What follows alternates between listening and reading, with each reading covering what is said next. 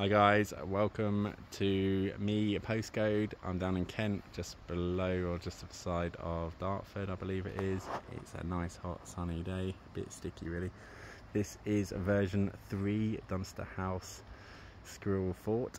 If you go on our website or any of our other YouTube videos, you'll be able to see the version 2 and version 1 Dunsters. And you can type in Squirrel Fort and figure out which one you like the look of. You won't be able to buy the others, but you'll at least see where being involved. It's a bit odd that they keep changing the name, or they don't change the name, that they just change the full design. Um, anyway, this is there. I've got a whole load of issues where, for example, the bolts are not fitting properly, and other stuff is just not here. So obviously, version three, they've changed it. Look at the size of those things. They've changed it, but not actually thought through exactly what's happening with the instructions. Even that. Look at these they're all just all over the shop basically. Every single bolt is sticking out and you can't actually put these pop caps in because the bolts are too long. So we had them a couple of years ago where the bolts were always too short and we had to shave down the wood slightly. TP had the same thing on their Castlewood where they never drilled it out enough and then sent the bolts out. But it's just a pain in the ass. So here we are. Anyway, cargo net uh, monkey bars are only about a metre and a bit long, a metre and a half long. So it's, it's, a, it's an okay width, but what you're going to find is the bigger kids are held in and then they'll just try and swing. It's nice that it's nice and tall, bit of a skinny roof, but it's nice and tall so bigger kids can get up and over and down.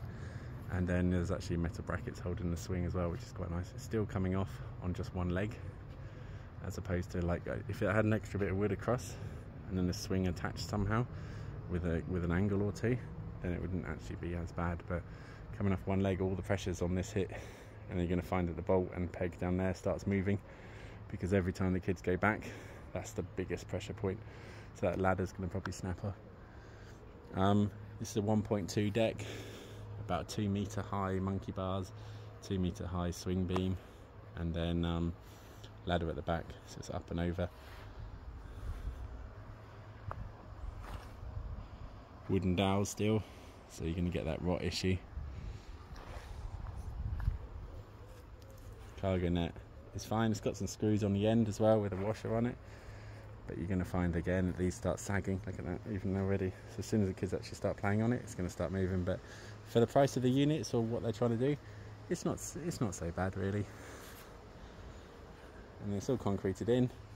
Just need to leave it three or four days and then get ready to play this one does come with a pre-built floor, which is quite nice, and the roof has gone back to pre-built as well. So you do have to obviously just bolt it together at the top and do a few bits and pieces. But rather than rebuilding all the floor and looking at cladding and stuff falling out packages all the time, you do get your, your stuff there.